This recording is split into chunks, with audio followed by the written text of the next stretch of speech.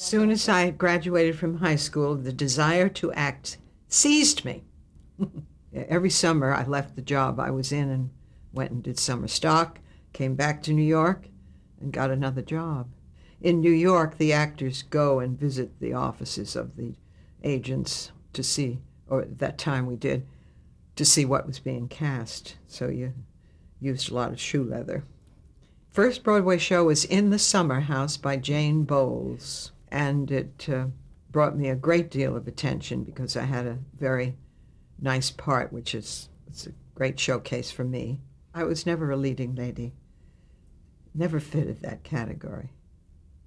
Um, so, you know, I played bag ladies and anything else you can think of.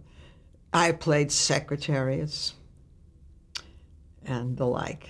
I was a woman who ran a, a boarding house, or else at least a house where, an apartment house where I rented rooms. And uh, there was a man in one of my rooms because of what I saw in the house and heard. I, uh, I marked him as the, as the murderer. And the actor who was playing that role was Carroll O'Connor. but then I never saw him again until years later. this is in the series. My agent called me to come up and see Norman Lear about this part in a series. I had never done a series. Norman said that he'd seen me in Damn Yankees. Uh, that's how I came to his attention. I don't know their names, but I know that he saw every character actress in town uh, for this part. He read everybody. And that's uh, how I got the part. I remember reading the script, which was script, basic script for three pilots and the first show on the air. And I, I was just amazed by its quality. Really good script. Character, uh, comedy based in character and situation and so forth. And I thought to myself, wow, this on TV, how wonderful. Even then, I thought that. She just had a zinger about one line a page that just broke his hot air every time. It was a laugh. And uh, so I think I said it in a, quite a, a wry and wise manner, knowingly, you know, zinger. Burst his bubble and that's the way I played the first, the pilots and the which was, became the first show. The character evolved in the first 13 weeks, as it did for all of us. I didn't even use the nasal quality in my voice in that uh, first reading. No. But of course, when we got into rehearsal, and the fact that we were in New York, where I knew everybody hurried, and the uh, abusive uh, demands on Bunker's part uh, pushed Edith into a run. she was hurrying to get things on the table, etc. That's how the little run um, rose and uh, became a part of the character. And I added the uh, nasality because I had used it in in um, Damn Yankees for the woman for comic purposes. And I thought, well, I'll give her that nasality. I'll steal it from myself. a very compassionate individual, a peculiar um, way of arriving at uh, things and thoughts, not very bright, not uh, well educated, and a perception about people that was instinctive, intuitive. And sometimes it was very, very sharp understanding. She went right to the root of something. Just a lot of love, uh, unselfish love. On the surface, he was that, uh, that uh, incredible, uh, ignorant bigot. But of course, she saw more than that. Edith saw. Uh, they were they were in love. She was in love with this man, and of course, I guess they had, we had some tender moments that were dramatized, perhaps more. off camera. Carroll is a very fine actor, great versatility. And uh, that shows so much in his other work. And I think he followed uh, Mickey Rooney as a candidate. Norman saw him in something. He was perfect, couldn't have been better. ABC dropped it, the pilot it had, and uh, CBS picked it up. And Norman came along and said, "It looks like we've been picked up." And he said, "But don't don't celebrate until you're there in the studio making it. Nothing is certain. Very, very bright, very creative,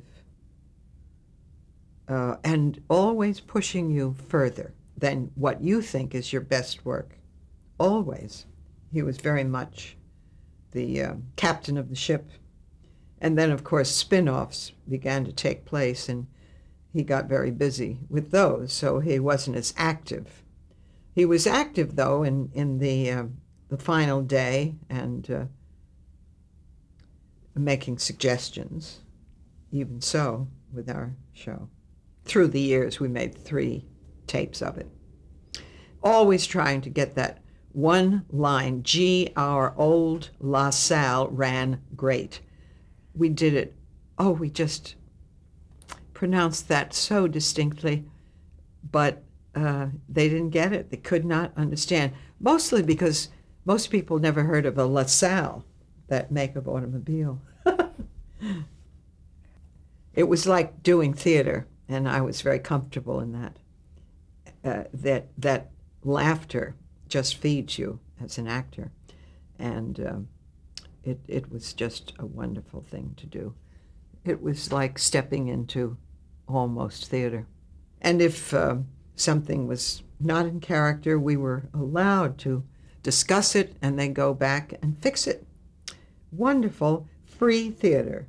Our director, John Rich, and again Paul Bogart said you are in a free theater, enjoy it. It was very honest and very funny and uh, uncovering a lot of uh, bigotry and prejudice and nonsense, and it was wonderful. Uh, it was real life, and it was true, and it was contemporary, and uh, brought up issues too. I loved that. We talked about almost every issue that was current. One of my favorite episodes was uh, Thanksgiving, I believe, and uh, Rob's part uh, brought home a friend who was a draft dodger. Well, uh, there was an explosion at that dinner table when Archie Bunker finds out that he's a draft dodger. Marvelously uh, acted, seen, and written.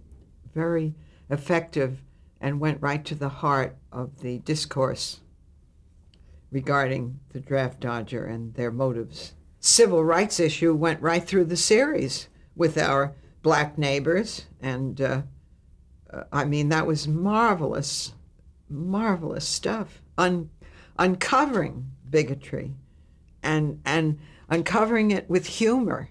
There's nothing like humor to burst what seems to be an enormous problem, humor reduces it to nothing and wipes it out. I was bothered. I didn't want to.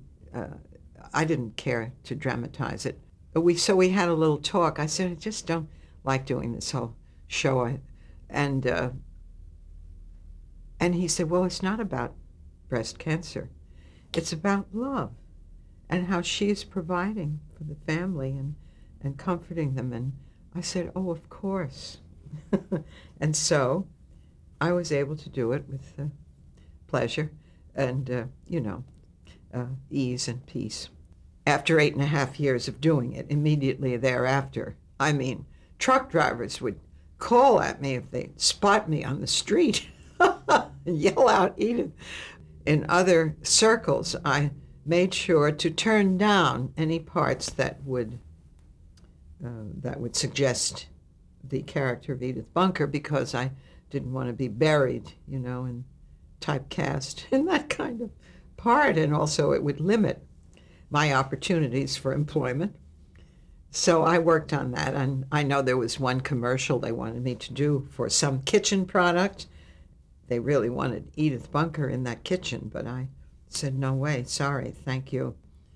And Carol Burnett's show, or Sonny and Cher, I remember turning down a couple of things that had changed the name, but it was a sketch, and it was Edith Bunker. No, thank you. I only saw it once while we were making the series.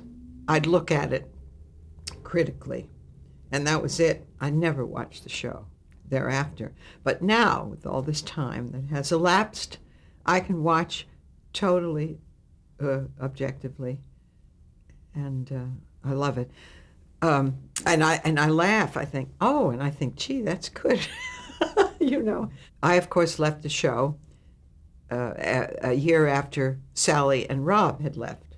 I had decided uh, we'd done everything we could, and uh, there was time to go on. Archie Bunker's Place, which went on for four years, Carroll chose that. Uh, they wanted to expand the stories, get him out of the bar where it was usually set, and uh, have him date women so they'd have a, a, greater variety of scripts. And then Norman called, and uh, he said that he could not say yes to allow Edith to die, you see, in a script, so that Archie could get on with his life. So I said to Norman, Norman, you realize, don't you, she is, uh, is only fiction. There was a long pause. And I thought, I've heard this dear man that I love so much. And then the voice came back, to me, she isn't. CBS was obligated to one film under my contract. And about the same time, a, a splendid uh, PR, PR, fellow named Dale Olson um, said, you should play Eleanor Roosevelt. And, and then a disc jockey in the Valley said the same thing, so that got me interested.